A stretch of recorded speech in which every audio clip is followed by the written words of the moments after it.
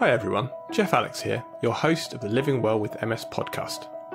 To all our listeners, I hope you and your families are staying safe and healthy during this COVID 19 crisis. While social distancing and other restrictions may seem like a drag, in the long run they will prove critical to stemming the tide of this epidemic and returning to a sense of normality. I have faith we'll come out of this stronger, smarter, and a bit more enlightened as a result. In the meantime, we at Overcoming MS and the whole team behind this podcast are here for you to keep you informed and help you keep on track with your personal journey to a healthier you. Now, on with the show. Marie L. McCarthy is an award winning and international best selling author whose books Journaling Power How to Create the Happy, Healthy Life You Want to Live and Heal Yourself with Journaling Power, have introduced people around the world to the power journaling has to help heal the body. After losing feeling and function in the right side of her body in 1998, Marie was diagnosed with MS. Undaunted, she took up a daily journaling practice, which over time helped improve her MS symptoms to the extent that she is now an accomplished recording artist with three full length albums. Marie's website, Create Write Now, that's create right with a W now.com, is the platform she runs to share her methods, expertise, and passion for journaling. So, Marie, welcome to the podcast. And I'd like to start off um, by asking you if you could share with our audience a bit about your own personal story um, and your journey since being diagnosed with MS. Oh, certainly. Um, and I just want to let you know, um, my name is Mari. Oh, apologies. I, Sorry. That's okay. I, I spell uh, I just spell, spell my name a little bit differently. I just like to let you know. Um, okay, certainly. I'll be I'll be glad to talk about my uh, how I got into journaling for the health of it. Um, I, I've been uh, uh, living with my health challenge known as MS for almost 30 years now. Uh, and about mm, 20 some years ago, I had an, uh, an exacerbation where I lost uh, most function and feeling on the right side of my body. And I needed to uh, find a way to, I, I guess, let me back up a bit. it, having had a lot of experience with MS, I just had this feeling it was going to be around this exacerbation, of this episode was going to be around for a while.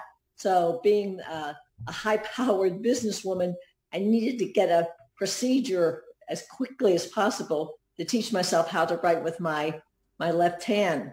And I was introduced to uh, a young lady by the name of Julia Cameron who wrote the book The Artist Way.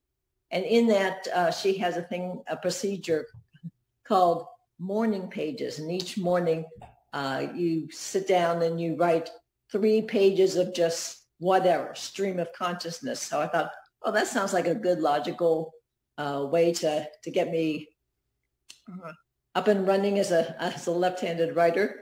Uh, so I w- went through that process and it became uh, very soon on a very shall we say, woo-woo, spiritual, uh, emotional experience. And I started uh, remembering things from my childhood. And it was just a, a, t- a totally different experience. It was way more than just uh, physical therapy. It was uh, emotional, uh, spiritual, mental as, as well. But you so were literally doing it because you had to learn to write with your left hand you just had to practice the action of writing, and you thought, well, this is a good way of of learning to write. Yes, yeah, it's like, like I said, just something that I I needed a a, a discipline, a, a, procedure, or whatever, and so I thought, hey, well, well, let's give this a shot. This sounds like like it, it, you know, being the practical businesswoman, I said, yeah, it, that makes sense. So, and that's how I I got started, and I thought, yeah, this, this sounds like a good idea to me, and and, and go went off into who knows where, started the inner journey into who really lives in Mari McCarthy's body. And so, um, with your MS diagnosis, presumably you there was not much treatment available 30 years ago. I know um, th- that because I was uh, diagnosed in 1991. So um, my I, my neurologist at the time uh, put me on uh, Imuran, which was uh, a, uh, usually used in uh, uh, transplants, you know, to help the body with rejection and things like that. And they were finding that there was application. So yes, to answer your, your question, so I was, I was on on that for a while, but then after like uh, seven or eight years, she's my neurologist said started taking on. it has a potential, but taking on carcinogenic or prompting cancer and things like that. So it's just like so she took me off that and by that time, uh, the what they were calling the ABC drugs were just starting to uh, come out. Uh, and uh, she, you know, being the, the established medical doctor, she had to get me on a drug. So I was on uh, on the Avonex uh, for for a while. But and, and, that was part of the the the, the process.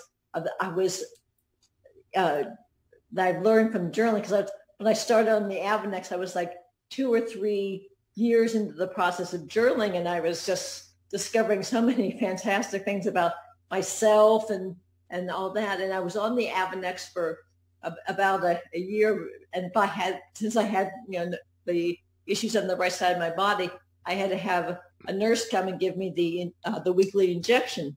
Well, one week she didn't come, and it's just like I didn't I didn't lose two days because what normally was happening with the the Avonex is like the day after or sometimes two days after I would come down with the flu and get sick and all that. But it, I when she didn't come and gave me gave me the shot, I felt really good the next day. So I called up my neurologist and I said, "Thanks, doctor, for for everything, but no more drugs for this kid."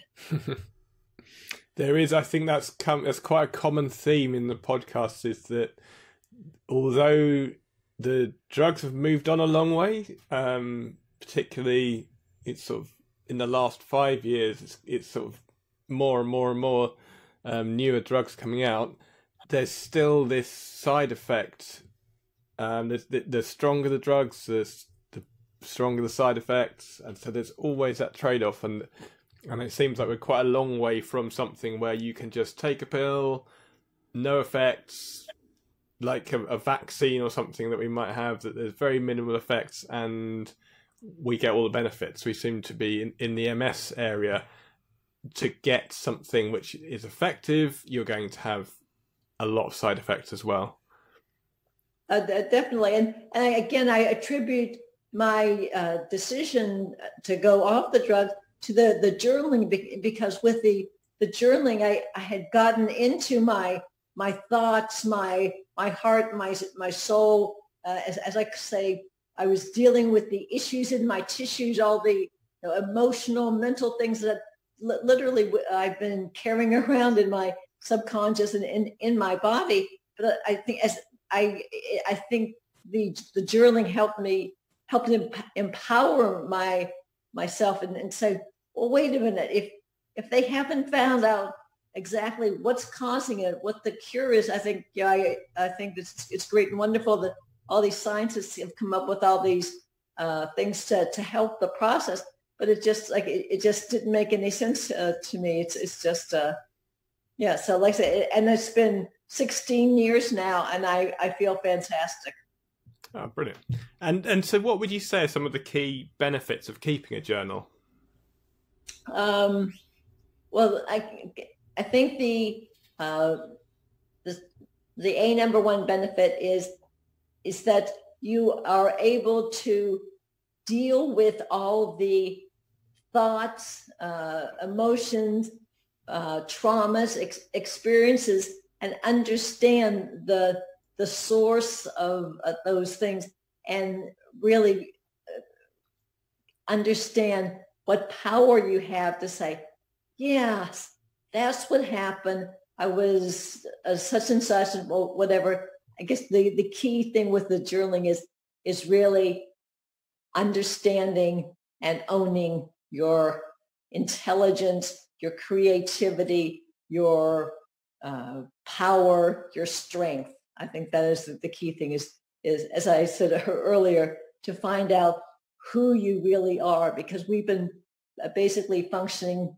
uh, on an external basis and uh, we've been told by everybody who we are, but we we've never really s- spent the time and been with our ourselves and really delve deeply, deeply into our uh, our personhood, our and I. So I think that the the, uh, the a number one benefit of, of journaling uh, is to really under, understand and Im, Im, appreciate and embrace all the the beauty, the talent, the creativity, everything that that really makes who you really are, not what uh, you've been thinking that you are for all these years. And, and do you think that there's a link between, as well as the mental aspects you've talked about, is there a link between journaling and physical healing potentially? Oh, absolutely, positively, because I think journaling enables us to take a look at ourselves holistically, because again, based on how we are uh, brought up and uh, trained and conditioned and uh, deal, dealing with the you know, established medical profession, everything is so compartmentalized. But with journaling, it, it helps us understand and realize we are a process. We are physical. We are spiritual. We are mental. We are emotional. So uh, definitely, and like I said, I'm and I'm at the point now that with uh, I'm I'm doing now ambidextrous uh, morning pages so that I'm doing one page with a, the left hand and one page with the right hand. And I have almost complete uh, function uh, on the, uh, the right side of my body. Oh, fantastic! So, so you've actually so the original symptoms that you had have um, are much less so now. Oh yes, there. Are, Yeah, I, I'd say I'm uh, 75 uh, percent uh, uh, back to where I was. Like, uh, I'm I'm able to to walk. Uh, I mean, certainly with the uh, the assistance of a of a walker, but it's just uh, it, it's just a whole. Uh, I'm I'm I'm whole. I, I just I feel very very whole and very functional, and it's just really fascinating to to, to see the, the the changes and you know and with the the functionality. I just think too that just overall functionality of of how I look and how I I carry myself and the breathing and all that. The the journaling has really helped that. Like I said, I don't I couldn't tell you scientifically what, what's going on, but I just know that from a uh, a physical point of view, I'm much better than uh, you know I, I was uh, with with the episode, and, and certainly vastly. I, I see continual improvement in my my physicality by uh, doing my daily journaling. Brilliant. My, my uh, just as an aside, my son actually is is, um, is ambidextrous, and when he learnt to write, he was writing. He'd start a line with his left hand, and then he'd swap hands halfway across the line and finish it with his right hand. Which, cool. um, yeah, I wish he'd carried on actually because they they discouraged it at his school um, because he was his writing wasn't very good, but he was kind of learning twice and they said he's he's effectively learning to write with his left and right hands, and so that's why his writing's not his writing like um, as in the words he was writing was good, but the writing um, neatness was poor. So um, they they discouraged it, and they, he ended up being um, left-handed as a writer, um, which is somewhat annoying actually because it's harder to write left-handed. and We wish they'd made him to be right-handed. But um, yeah, because he does other things right-handed, it's random what he'll do one one way or the other. But um, yeah, well, no, it's just interesting what you're saying. Writing some something's left and something's right, and that's exactly what he was doing when he was when he was a child. Well, that was the fascinating thing uh, for me about uh, getting into to journaling because that I became left-handed very very quickly, and one of the things I uh, realized that came up in my my morning pages was that I always was left-handed but the nuns changed me when I was in grammar school. Ah, okay, because they did used to, didn't they? They used to. There, there was, I mean, especially, I mean, I'm, I'm from Catholic upbringing, and there was a. Oh, absolutely! So you know very well. So it's like good little Catholic girls do not write left-handed. Well, no, it's the whole, um, and the words for uh, sinister comes from the word for left, and yes. gauche comes from the word for left, and and it, left is taken as a bad thing, isn't it? It was sort of almost demonic to be to be left-handed, so they were yeah very encouraging you to be right-handed. Bizarrely. Yes, um, it, it was fascinating. Like I said, so to, to a long way around, uh, Geoff, to answer your uh, the question, there definitely has you know physical things. It's like, oh my goodness! And now that I'm uh, ambidextrous, it's like it's opening up even more and more aspects of creativity, intelligence, and things like that. So it's just you know again just being able to to do things that they uh, they said that we shouldn't be doing or they whatever it's just like it's, it's so exciting and so freeing to realize wow damn i'm good so you think that actually keeping a journal i mean this this podcast is specifically for people with ms so keeping a journal could actually improve um, the health of people with ms oh definitely because it's it's my goal and intention is is that I uh, it is helping me do whatever I need to do uh, physically to uh, heal myself. And like I said, I fully intend that uh, one one day in the not too distant future, I will not be needing the the walker, any assisted devices or whatever. Uh, so definitely, it's uh, de- definitely a beeline. It's journaling has helped me take ownership of myself and and appreciate uh, and understand that it's my body and who knows better about what's going on in my body than I do. So, and, and then with, with me, it's a whole different way of, of working. It's just like, no, it's, it's my body. This is what's happening. And this is where I need help from uh, a doctor, uh, whatever health resource. So it's, it's really completely shifting things around rather than you know, going out there, find trying to find, oh, I need help for this, need help with that. Journaling has helped me center and get clear on, mm, okay, this is what's what's going on. What do I need? So and it ha- it's helped me change completely change my my diet. I'm um, uh, strictly paleo, and that that works really well with my my body. So I just really feel the that daily practice of, of self-care, self-nurturing, self-healing called journaling has really helped me uh, holistically, spiritually, mentally, and physically for sure. And do you think um, you mentioned sort of creative um, influences as well? Do you think that there's a connection between journaling and your music side as well? Oh, absolutely. Again, that was one of the uh, things I learned early on when doing the morning pages is that as, as a child, I've always loved music and I always wanted to be a singer. And it's, uh, and, and I remembered uh, an instance in, in fourth grade when I tried out for the, the choral group at school and uh, they, they didn't want me because that, that they said I had uh, no music sense and I was tone deaf. Well, as a little child, you stuff that all in, you know, and, and I think that's, again, that's why I'm so passionate about journaling is that it, it, it really brings up the issues in your tissues and really appreciate uh, so many of the things that, that happen in childhood. It's just like journaling uh, enables you to, to process those things. And it's like, wow, because so many things that were, were repressed and it's like, of course, when you have that kind of a, a, a situation when you're a child, you're going to forget about that. So it's just, you know, and then you're building the, you know, the, the self-esteem challenges and all that type of thing. So it's, again, uh, the journaling was just uh, fantastic and, and, and bringing out, oh my, my goodness, I, I really do. And what was interesting was, was, was the, uh, uh, after I, I, wrote that and came to the, the, conclusion that's like,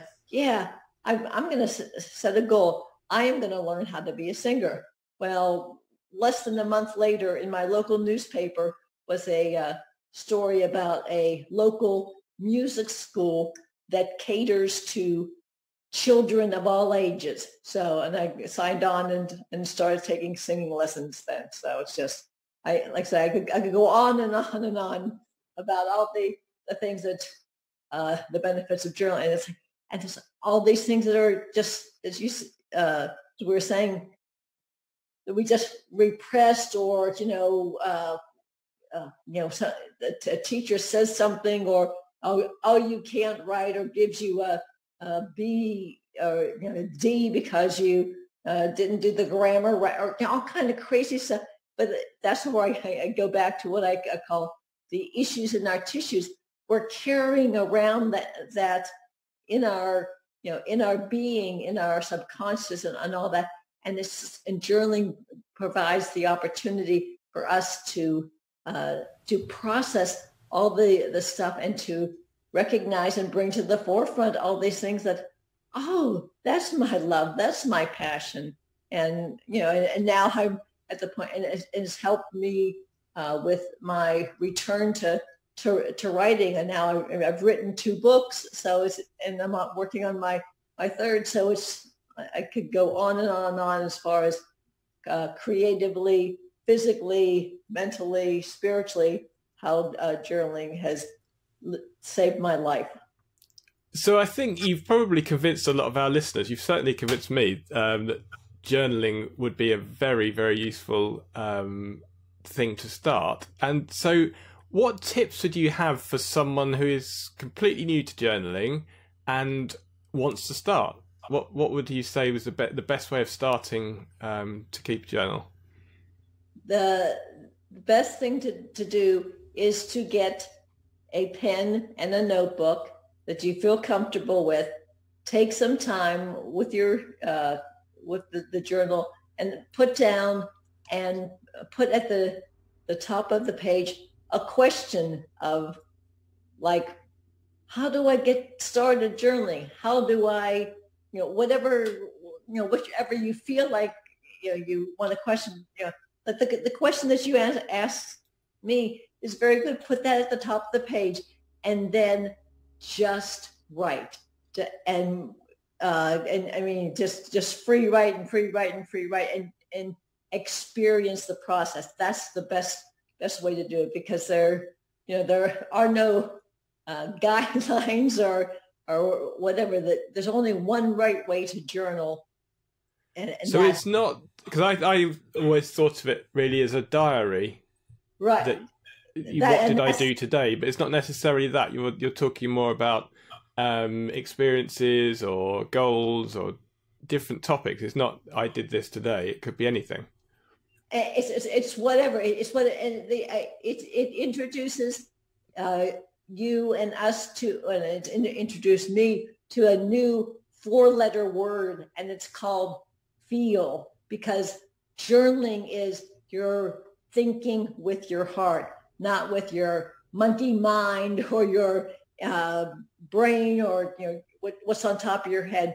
Your the key about journaling is you're getting into things that you, they never told us we should deal with emotions. You know, it's just because it, that's and that's what the real challenge is because we're dealing uh, with our, ourselves. We're we're learning how to live our life from the inside out, and this and that's very scary and different. So to the, the best way to do it is rather than uh, to get started is to just get a pad of paper, get, get a pen, take some time to your yourself and just ask a, a question and just write, write, write. That way you get to experience uh, the uh, the mental uh, and physical and, and spiritual and uh, uh, uh, you get to experience the whole the whole process. And it's just because it's it's very challenging, very scary because journaling is all about getting into your heart, your soul, your intuition, all those things that we were never taught how to do that. I mean, good grief, spending time with ourselves and working on our our inner life and what makes us up and and how we feel and things like that. We were just never taught how to do that or never supported in doing that. But now we have the opportunity. This journaling is, is really, uh, uh, shall I say, it creates space for the healing to take place. And there's just so much inside of us that, that now we, it provides the opportunity for us to, to deal with uh, the erroneous thoughts, the unhealthy feelings, and all, all that. So it's. And and do you journal at a particular? Do you sort of schedule in journal for a particular time of day for journaling, or do you just as and when the feeling takes you? Is uh, for, how, how would you do that? For me, it's it, it's uh, first thing in the in the morning, and then I, I do my my meditation. Uh, but then also it, it also uh, some but some days I I just you know as the spirit moves me I, I get to it. But what one of the things I am always uh, I've been into now for about a year is what I call night notes. At the uh, the end of the day, I take uh, one page and just write about uh, the uh, the the learnings, the the gratitudes, the positive things that that happened every every day, and I find that has really helped my my sleeping because I I've had over the years, as a lot of people have, uh, challenges with sleeping. But now, thanks thanks to that, I'm routinely sleeping through the night, uh, seven to eight hours. So, and it's it's great. So, uh, so again, it gets back to the uh, what, what I said earlier about the journaling. There's only one right way to do journaling, and that's your way. So yeah, and and that's enables you to get into hmm, what do I feel like? I mean, like some, some days I'll just go through the process like, hmm, I just really feel like just sitting down and letting it rip for a while with the journals. And so it's it's uh, it's because like journaling has given me permission to do what whatever I feel like. So I, that's really exciting. And do you think it's important? You you mentioned pen and paper. Is it important to use a pen and paper, or could people use an iPad or an app or uh, modern if, technology? If you if you want inner, if you want to have access to your spirit, your soul, your body, everything that makes you up, the only right way to do that, you know, the only way to do that is by pen to page. Uh, the all the technology is great and wonderful, but it's just like if you want stress reduction or uh, to feel better or do a data dump, that's great. But w- when we're do- we're talking journaling for the health of it, we're talking about pen to page every day, uh, and and that access you know enables you to access all of who you are. And um, would you just use any pen and paper, or do you like to have a do you have a favorite pen and a nice leather bound pad, or does it really matter? Do you just pick up any yeah. old throwaway I, pen? again, it's, it's whatever you feel like or whatever you want to do. I mean, just you know, thinking in terms of, of when you're when you were a little a little kid. You know, what did you like to do? Or you know, some people uh, use crayons or what. So there again, there's not. Uh, I use uh, personally what has worked for me is a, a spiral, uh, you know, note, a spiral big notebook, and whatever. I, I found a, a, a pen that has you know really good, uh, like a, a little uh, indentation that's really helpful for because I tend to really grab onto the pen and hold onto it, so it's really uh, helpful. Uh, and but then also too, another thing about the the journaling, it's it's uh, a, your choice whether you want to keep it or not. For me, once I've been completed a, a, a notebook, it goes to the trash man. You know, it's like okay, I, I've gotten what I I needed to get. It's like you said earlier about you know writing it down. There's so, for me, there's something about just writing it down, going through that process of getting it out. It's like, oh, okay, fine, I got that, and then then I know that you know, sooner or later you know, the, the answer or the approach will come up because I, I've, I've just done, I've been consistent in that process. But like, again, I have a, a client who, uh, who has been journaling for like um, 30 years and he took his journals to, uh, I guess, a, a Kinko's or a, a, a place where they, cop- they copied and he, he has uh, uh, computerized all his uh, things. So he, he has a legacy of uh, all the things that were in his journal for 30 years. So again, it, it, that's what's so exciting. And I can't stress enough. There's only one right way to journal and it's your way because, you know, it's just like, it's because it is about you and what you feel like doing and who you are. And, and that's what's so exciting. And would the same apply to the privacy of your journal? Do you do you keep them confidential or are they public for your family uh, or?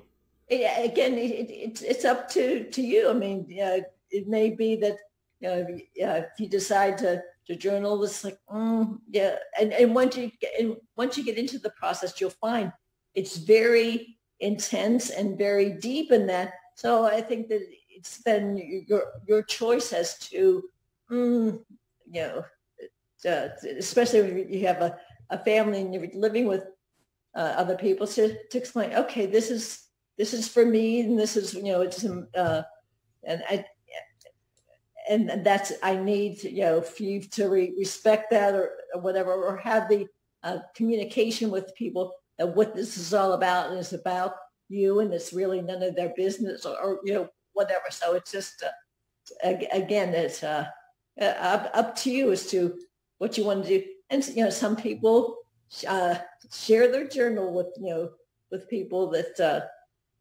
they live with. There, there are some, uh, some people I, I know that, are uh, married.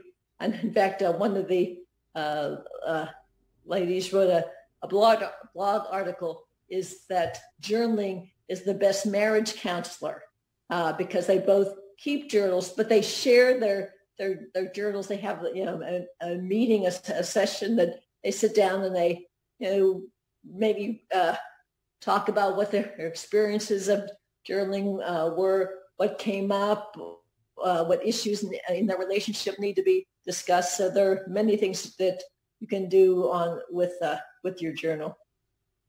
Okay, I think that's we've had some fantastic advice there. Um, is there any last tips you'd have for people?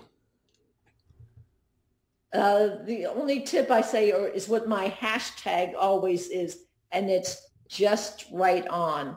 So if it, the the key is is to just do it. It's like I said earlier, as you asked me about how to get started. That's always my standard tip and answer. It's like, oh, I don't know what to do about this, or yeah, and I say, just write on, just get out your journal and just write because it's about the process and it's about your uh, an on-call 20, 24-7 therapist, uh, healing agent, what, whatever. So the best thing to do is just zip the lip and just get to the page and get it out.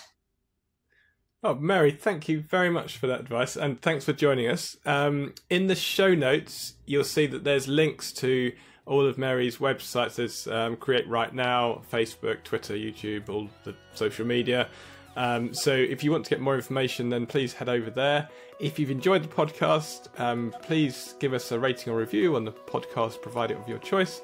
And I hope you join us next time. With that, I would like to thank you all for listening to this episode of Living Well with MS. Remember that there is a wealth of information at overcomingms.org, including show notes and an archive of all Living Well with MS episodes. Once again, that's overcomingms.org. There you can also find OMS friendly recipes and exercise tips. Connect with other OMSers in your local area through our OMS Circles program and learn about the latest research going on in the MS world generally and related to OMS specifically. I encourage you to register on the site and stay informed about the latest news and updates. I also encourage you to subscribe to this podcast so you never miss an episode. And please feel free to share it with others who might find it of value. Let us know what you think about the podcast by leaving a review, and if you have ideas for future episodes, we'd love to hear from you so please contact us via our website, overcomingms.org. Thanks again for listening and for joining me on this journey to overcoming MS and living well with multiple sclerosis. I'm Geoff Allix, and I'll see you next time.